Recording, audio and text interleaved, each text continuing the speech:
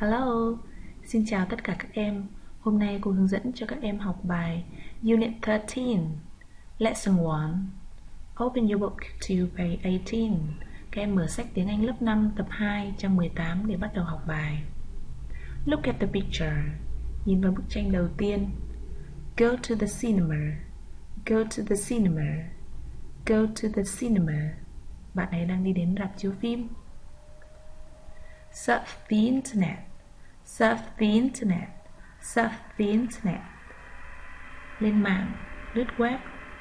Ride a bike. Ride a bike. Ride a bike. Đạp xe. Clean the house. Clean the house. Clean the house. Lau nhà. Do karate. Do karate. Do karate. Tập võ karate. Watch TV. Watch TV. Watch TV. Xem TV. Nhìn vào những bức tranh này, em có đoán được những người này thường làm việc này vào khi nào không? Đó là vào thời gian rảnh rỗi các em ạ. Free time. Free time. Free time. Nội dung bài ngày hôm nay cũng nói về thời gian rảnh rỗi. Chúng ta cùng bước vào bài học ngày hôm nay. Unit 13. What do you do in your free time? Bạn thường làm gì vào thời gian rảnh rỗi? 1. Look, listen and repeat. Hoạt động đầu tiên, nhìn, nghe và lặp lại. Look at Tom. Hãy nhìn bạn Tom này. What is Tom doing? Bạn ấy đang làm gì vậy? He's riding a bike. Đang đạp xe. Vậy em có muốn biết Nam và Tom đang hỏi nhau về điều gì không? À, hai bạn đang hỏi nhau xem thử là bạn mình thường làm gì vào thời gian rảnh rỗi. Now let's listen and repeat. Các em hãy lắng nghe hai bạn và đọc theo hai bạn nhé. What do you do in your free time? I ride my bike in the park. Again, một lần nữa. What do you do in your free time? I ride my bike in the park. Như vậy, khi muốn biết người khác thường làm gì vào thời gian rảnh rỗi, chúng ta sử dụng mẫu câu hỏi What do you do in your free time? Và trong câu trả lời, chúng ta bắt đầu với ai, rồi đến việc chúng ta thường làm. 2. Point and say Trong phần này, các em sẽ thực hành lại mẫu câu hỏi Muốn biết người khác thường làm gì vào thời gian rảnh rỗi Và trả lời cho câu hỏi này Cô sẽ nhắc lại câu hỏi để các em có thể nhớ hơn nhé What do you do in your free time?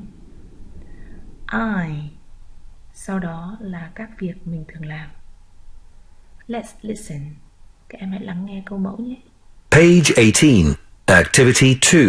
Point and say. What do you do in your free time? I surf the internet. A. Surf the internet. B. Go to the cinema. C. Clean the house. D. Do karate. Ok Picture A Chắc hẳn các em đã đọc được rồi Chúng ta thử xem cô đọc có giống như những gì chúng ta đã thực hành không nhé What do you do in your free time? I surf the internet Picture B What do you do in your free time? I go to the cinema C What do you do in your free time? I clean the house. D. What do you do in your free time? I do karate. Như vậy, các em vừa mới thực hành mẫu câu để biết người khác thường làm gì vào thời gian rảnh. Em hãy vận dụng mẫu câu này đưa vào bài tập 4. Listen and take. Nghe và đánh dấu tick vào bức tranh đúng nhé. We have nine pictures. Chúng ta có 9 bức tranh. Number one. A. Surf the internet. Surf the internet. lên mạng, lướt web. B. Draw a picture. Draw a picture. Vẽ tranh. C. Ride a bike. Ride a bike. Đạp xe. Number two. A. Go to the cinema. Go to the cinema. Đi đến rạp chiếu phim.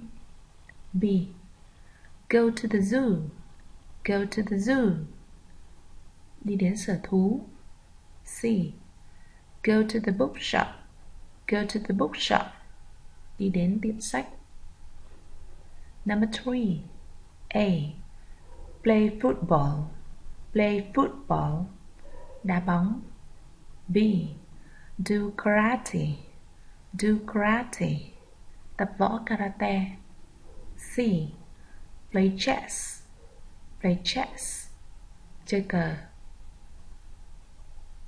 Now, listen and tick. Các em hãy nghe và đánh dấu tick vào bức tranh đúng nhé. 1. Do you like my new picture, Nam? Yes, it's so nice. How often do you draw pictures, Mary? I usually draw pictures in my free time. 2. What do you do in your free time, Linda? I often go to the cinema. Do you go to the zoo? Not very often. 3. Where were you yesterday, Fong? I was at the karate club. Oh, can you do karate? Yes, of course. I usually do karate in my free time.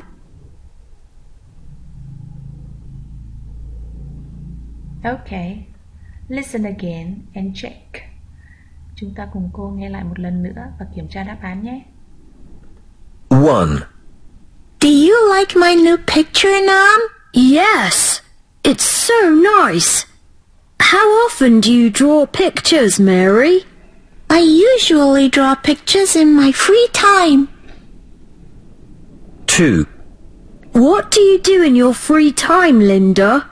I often go to the cinema. Do you go to the zoo? Not very often. 3. Where were you yesterday, Fong? I was at the karate club. Oh, can you do karate? Yes, of course. I usually do karate in my free time. Okay.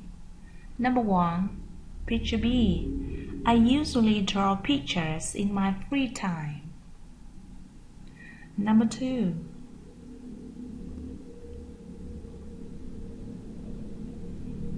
I often go to the cinema. Number three. I usually do karate in my free time. Let's check. Chúng ta cùng xem các đáp án này đã đúng chưa? Wow. Well done. Xin chúc mừng những bạn có đáp án giống như cô. Em vừa mới ôn lại mẫu câu hỏi để biết bạn thường làm gì vào thời gian rảnh rỗi qua hoạt động nghe, listen and take. Now, let's move to the next activity. Chúng ta cùng chuyển sang hoạt động tiếp theo. 5. Read and complete. We have five words. Các em có 5 từ để điền vào chỗ trống. Watch, watch. Free, free. Songs, songs. Go, go. Twice, twice. Em hãy điền năm từ này vào chỗ trống tích hợp.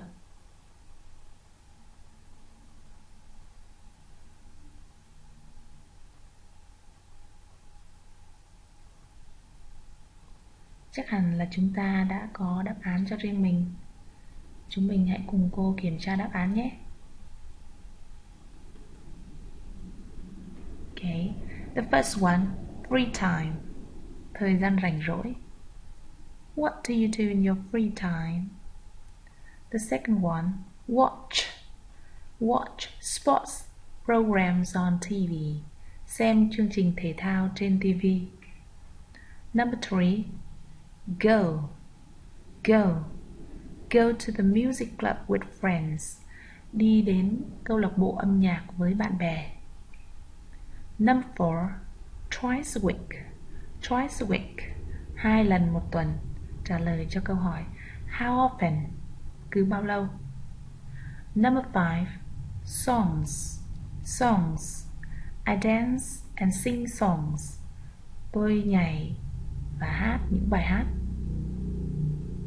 Như vậy, cô và các em vừa mới hoàn thành xong Lesson 1 của Unit 13 What do you do in your free time?